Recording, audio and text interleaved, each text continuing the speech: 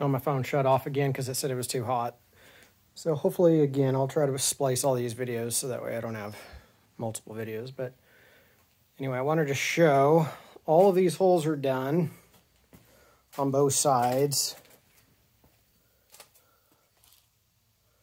Need to clean those up a little bit.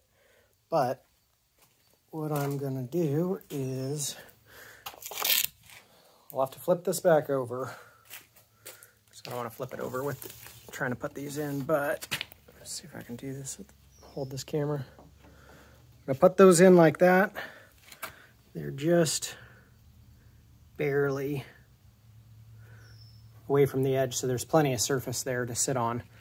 But those are gonna slide through those holes, and then, like I said with that board, is I'm just gonna cap off these so they can't move around. So I'll have to flip it upside, right side up, I should say. Put all those in and then put that retaining board, I'll call it, in place. And then it's ready for the lid, which I don't think I'm going to build in here because this thing's going to be hard enough to transport. So to get it down to my barn, I think I'm going to leave the lid off because I'm going to slide it onto the trailer like that, so I don't want it ripping the lid up. So I'll try to get this thing flipped right side up, get all those poles in, and that'll be pretty much it. I will record doing the lid, but for the most part, this thing is done once I get these poles in, so I will get this stuff swept up. Oh, and this this board I bought specifically um, is just kiln dried. These are not pressure treated. The 4x4s are, but these are just kiln dried. So all of this is going to go into the bedding. That's perfect stuff for these for these worms. So it's not too big. It's chewed up pretty good. So anything like that, if it's kiln dried wood, I'm keeping and throwing in there.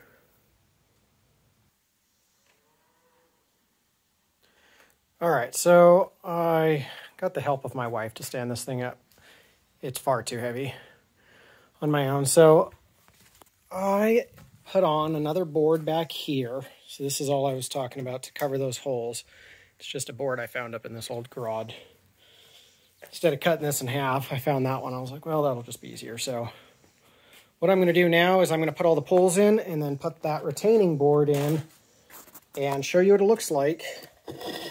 I'm going to build the lid, like I said, later. This thing's going to be hard enough to move anyway. But this is all it's going to take now. Just feeding these in.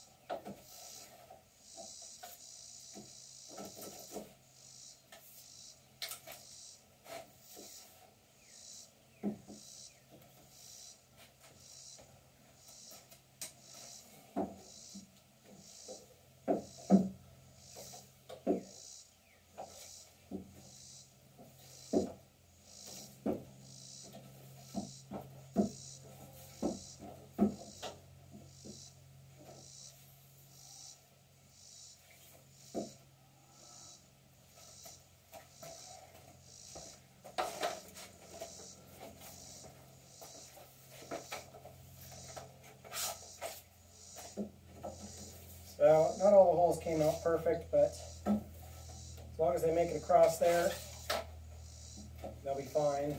They're close enough.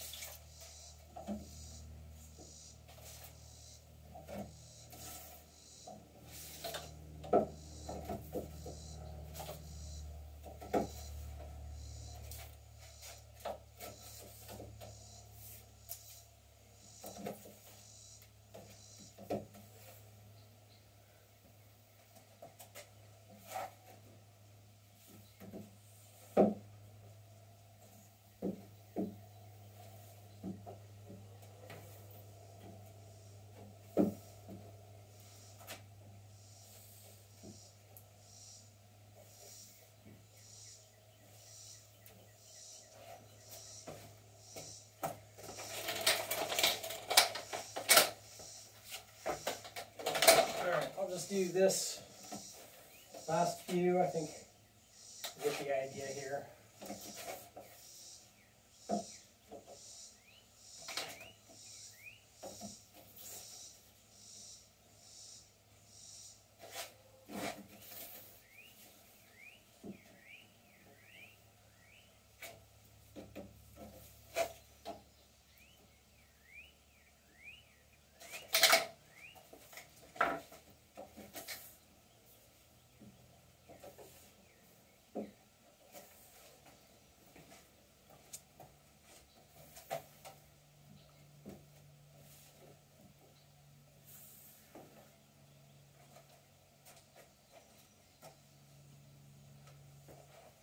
All right, so I'll just show you that.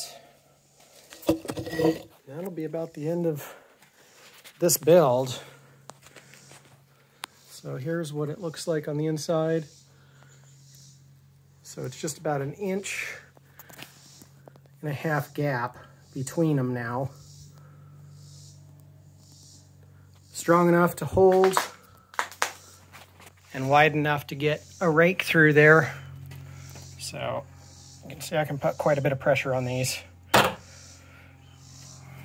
So this will be how much I have in soil. And then I did make this maybe a little too tall, but it's gonna be easy to get underneath here and work. So that's why I made this maybe a little bit taller than necessary, but this thing is very sturdy. It's gonna last forever.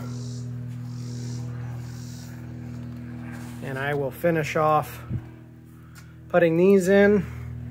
And then all you do is just put that board right on the front here.